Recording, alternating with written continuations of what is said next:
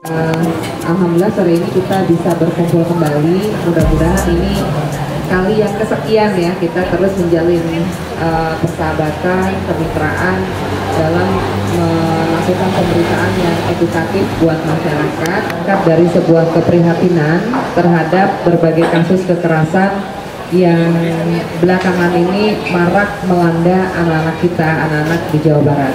Kekerasan yang menimpa anak-anak kita ini terjadi di lingkungan itu sebanyak 385 kasus. Di keluarga lebih sedikit memang, 193 kasus di sekolah ya berimbang dengan sekolah sera, uh, dengan keluarga sebanyak 121 kasus. Sebanyak 92% pengedar narkoba juga adalah anak-anak yang tidak melihat ayahnya dalam masa kembang.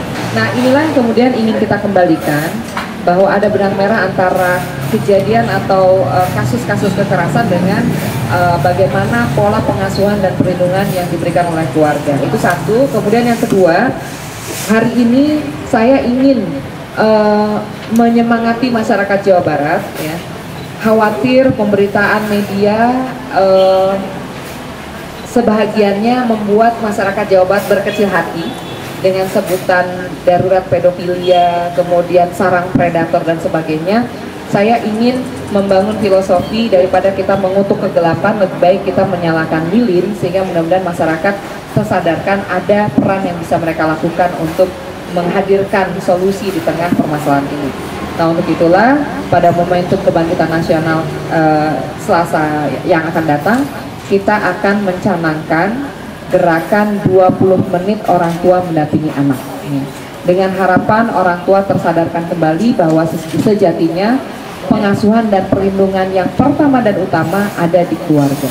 Nah mudah-mudahan ketika seluruh jaringan tadi sudah dilibatkan ada 625 pendamping kader posyandu uh, di tingkat kecamatan se-Jawa Barat, ada 2000 tenaga penggerak desa, ada pekerja sosial, pendamping keluarga harapan, Tagana, PKSK, eh, para bidan, kemudian pendidik PAUD, ada dari IGRA, IGTKI, MIPAUDI, dan seluruh jaringan yang dimiliki oleh OPD di Jawa Barat selama ini sudah menjadi mitra dalam uh, pendampingan dan pembinaan program di lapangan.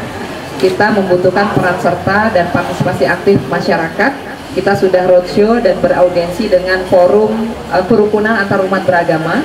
Kita sudah membuat leaflet materi-materi yang uh, berisikan tentang pendidikan seksualitas atau sexual education yang bisa disebarluaskan di uh, kegiatan-kegiatan uh, keagamaan di ibadah-ibadah uh, hari Minggu pada bagi para pemeluk Kristen. Kemudian kita membuat buletin Jumat yang bisa disampaikan oleh para khotib pada uh, kesempatan sholat Jumat ya. Nah, mudah-mudahan uh, para pimpinan dan tokoh agama ini, para pendeta, pastor, biksu yang hadir uh, beberapa waktu yang lalu, uh, mereka sudah bersepakat mendukung menyambut baik gerakan ini. Nah, 14 Mei yang lalu, Presiden Susilo Bambang Yudhoyono mengumpulkan beberapa kementerian dan juga lembaga pemerhati anak dan kemudian beliau mencanangkan gerakan nasional AKSA, GN AKSA, gerakan nasional anti kekerasan seksual terhadap anak. Alhamdulillah Jawa Barat, uh, mudah-mudahan ini langkah konkret ya, bukan sekedar apa namanya baru wacana, tapi insya Allah kita sudah uh, akan memulainya dengan gerakan. Dan saya yakin ketika orang tua dan masyarakat serta keluarga ini disadarkan, setidaknya itu akan berdampak pada penurunan angka kekerasan yang menimpa anak-anak kita di Jawa Barat.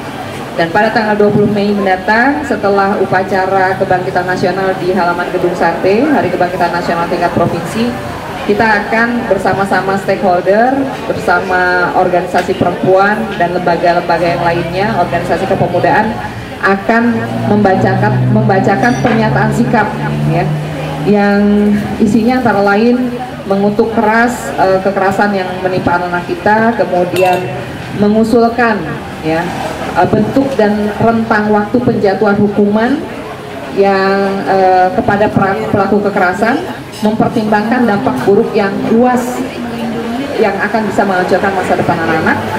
Assalamualaikum warahmatullahi wabarakatuh. Saya Neti Prastiani Heriawan, Ketua P2 TP2 Provinsi Jawa Barat mengimbau pada seluruh orang tua dan keluarga di Jawa Barat, mari bergabung dalam gerakan 20 menit orang tua mendampingi anak untuk melindungi anak dari berbagai kekerasan dan menyelamatkan masa depan bangsa pada tanggal 20 Mei 2014 mulai pukul 18.30 sampai 18.50. Assalamualaikum warahmatullahi wabarakatuh.